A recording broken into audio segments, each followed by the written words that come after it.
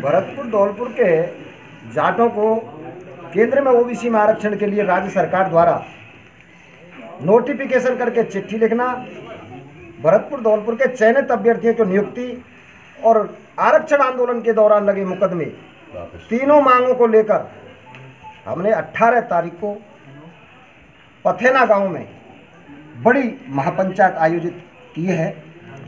उसके संदर्भ में हम गांव-गांव ढाणी-ढाणी जाकर, पीले चावल बांटकर समाज को निमंत्रण दे रहे हैं कि ज़्यादा से ज़्यादा तादाद में इकट्ठे होकर संगठित होकर सरकार से अपने बच्चों के भविष्य के लिए आर पार की लड़ाई के लिए तैयार हों।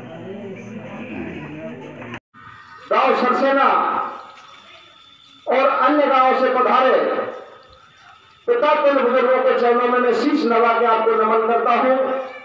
नौजवान साथियों का हार्दिक अभिनंदन और वंदन करता हूँ।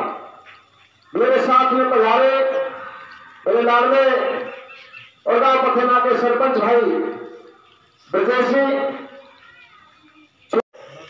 हमारी मांगों को गंभीरता से ले समाज के साथ न्याय करें।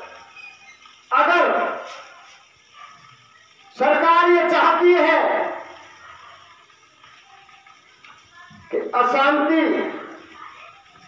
रोड जाम ट्रैक जाम और जनता परेशान हो, अगर सरकार की ये मंशा है तो वो हाथ खड़े करके समर्थन करे और पूरी तादाद में, पूरी तादाद में वहाँ अपना तनबल साथ लेके 18 तारीख को पथेना ज़रूर पधारे। इसका निमंत्रण देने के लिए से भाई सरपंच, ब्रजेश कुमार और भी साथी हमारे साथ रमेश जी, बहुत लोग आए हैं।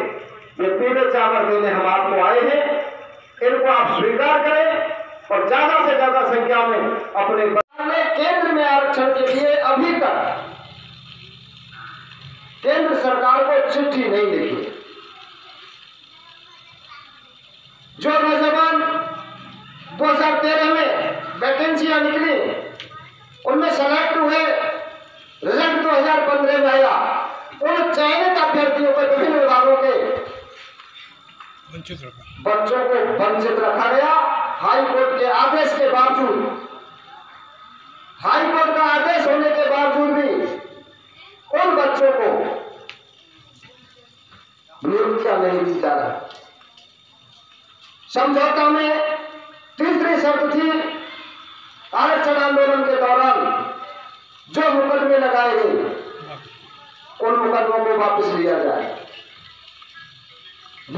सरकार ने तीनों ही बिंदुओं पर कोई सकारात्मक कदम नहीं उठाया। अठारह बीस महीने सरकार को बने हुए हो गए। आंदोलन करना, अशांति फैलाना कोई शौक नहीं हम